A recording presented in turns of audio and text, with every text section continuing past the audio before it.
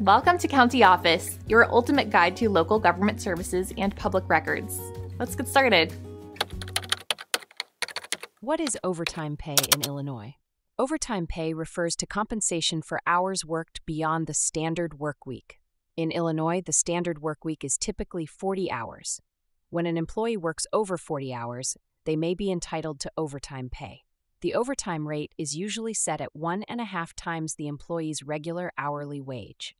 This applies to most hourly employees. However, certain exemptions exist under both federal and state law. Exempt employees may include those in executive, administrative, and professional roles. These roles typically require specific duties and a salary above a certain threshold. Illinois law also provides for daily overtime in certain industries. Employees in these sectors may receive overtime pay after working eight hours in a single day. Employers must keep accurate records of hours worked to ensure compliance with overtime laws.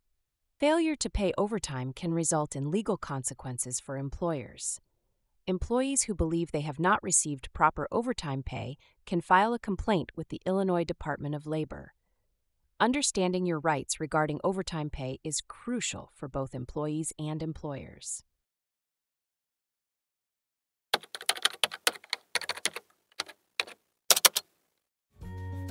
To learn more, check out these links, which you can click in the description below. And feel free to comment your questions. We're here to help. Thanks for tuning in to our video. Please like and subscribe and leave a comment below. See you in the next video.